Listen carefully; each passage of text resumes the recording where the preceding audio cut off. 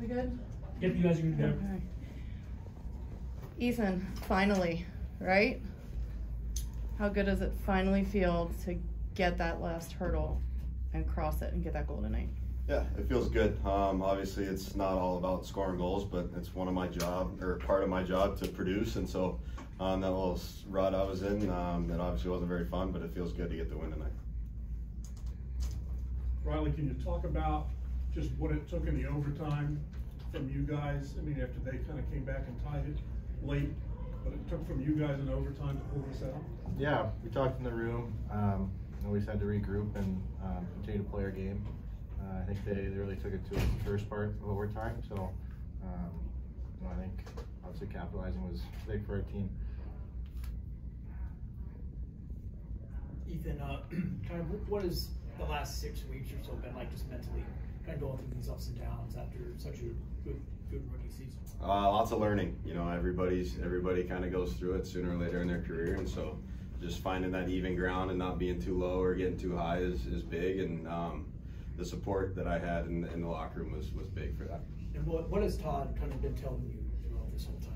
Um, don't worry about anything but playing hard and playing Bears hockey. Everything else will follow through, and um, it finally worked. So it feels good.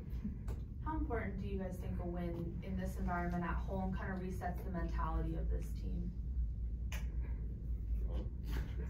Uh, I mean, obviously, uh, they, you know, took care of what they needed to at home the two games, and um, tonight, you know, I mean, you know anything about hockey, a seven-game series is kind of a must-win game for us. So, I mean, it's a bit of a roller coaster every game. You know, we, we kind of had it in the bag and let it away in the third there.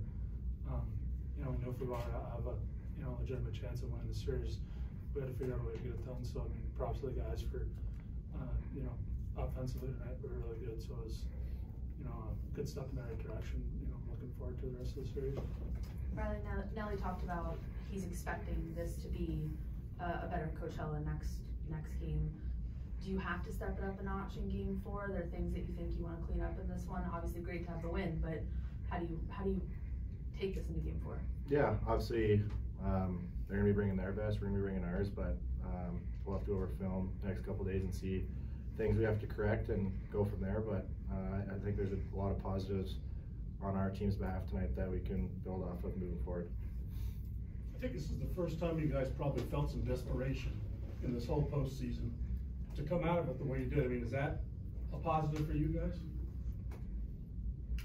Yeah, I think so. Um, I mean, like you said, throughout the season, we didn't really have to go through it all that often, and um, you know, it's the first time in a while we've had to do it. So uh, I think it just shows the character we have in the room, and um, hopefully we can continue to do that. Good? All right, thank you, everybody.